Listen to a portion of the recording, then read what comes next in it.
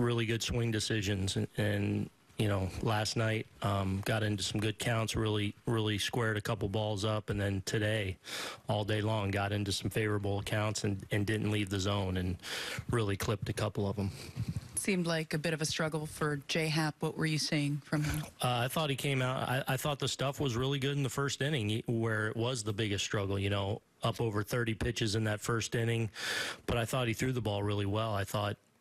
I thought the life again was there on the fastball. I thought he threw some good cut fastballs. Um, they they had a couple good at bats to extend innings against them, but overall, I thought he threw the ball well and and managed through uh, what was a you know pretty tough and heavy load in that first inning. You had an extended conversation with him after he came out in the fifth in the dugout. What was that conversation about? Uh, just within the game, nothing. Um, we were just talking about some um, situational stuff. Defensive placement. Huh? Was it the defensive placement? We were talking about just some pitch stuff and and uh, and yeah, positioning of, of certain things. Dave, sorry. Aaron, with, with Judge, he had a, he had a couple good at bats last night, and Mm-hmm. he, it seemed like he was kind of you know locking in a little. Why do you think it's so hard for him to kind of stay with that consistently? Today, he had a little bit of a, a rough day at the plate. Do you think it's it's just one of those years, or is it any type of lingering thing with him? Or No, no, not one of those years. It's one of. It's been a tough couple weeks. Um, the game's hard.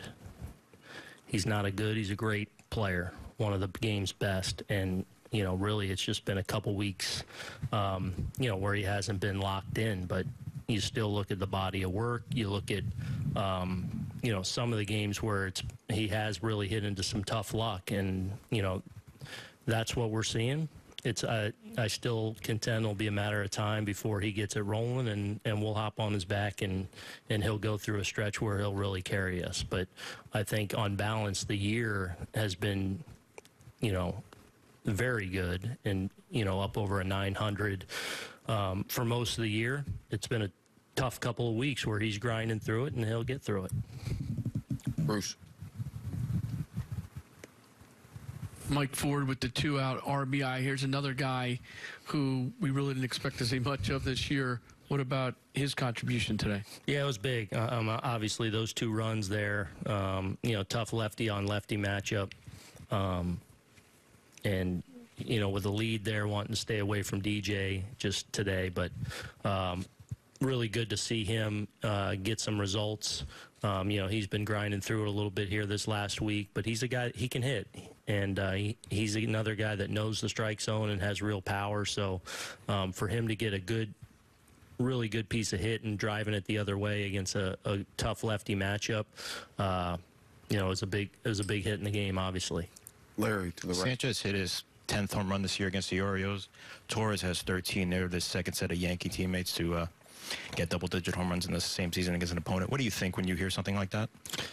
Um, a couple of great young players that um, you know not only have already done a lot in this game, but you know the the future's very bright, and they're going to do a lot of I, I think special things like that. You know, it just so so happens they've had um, you know really good results against the Orioles this year, and you know maybe in years to come it'll be. Uh, you know, it'll be somebody else, but they're going to do special things in this game.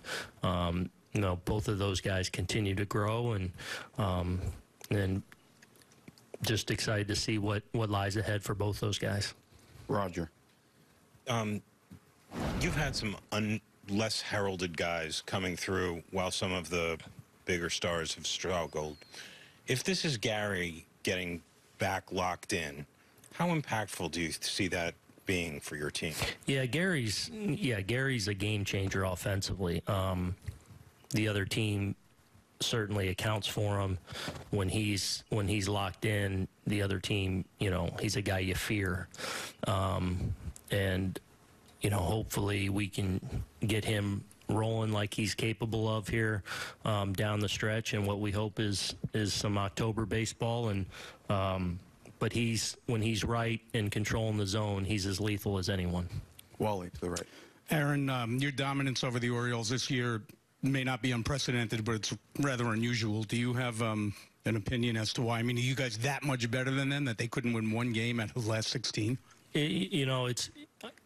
I think it's a it's a little fluky, a little crazy to win that many games against a team, especially after, you know, I think we dropped a couple in the first series against them, and you look across there, and I know they're going through a tough time, obviously, but you know they have a lot of a lot of good players too. That you know, especially if you make mistakes to them, they're a team that that can swing it and and they can hit the ball out of the ballpark too. So, you know, to have that kind of run, things got to line up a little bit for you, but you know, it's also a credit to our guys and I think the quality of team that we are.